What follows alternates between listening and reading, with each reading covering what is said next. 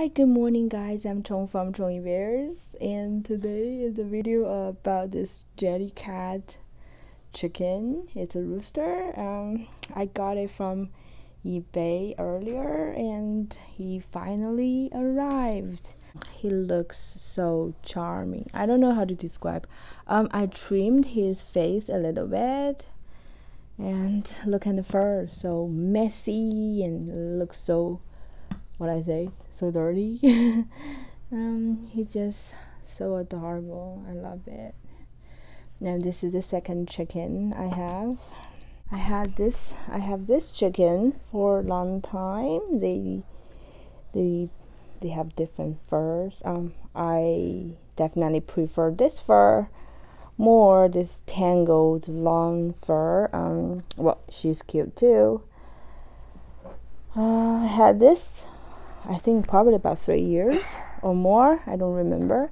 But now I have two chicken and I started to want more. Um, unfortunately, I don't see any other chicken catch my eyes, so I'll just have those two for now.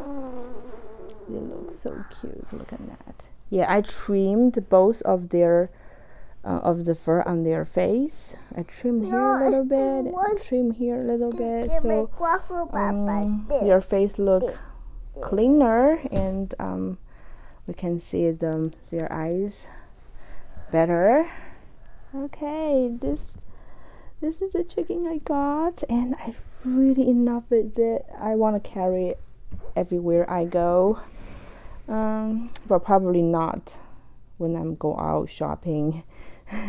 it's it's kind of too funny, right? We try to sell this one, but um, as now I have one more chicken, and they look like do they look like a couple?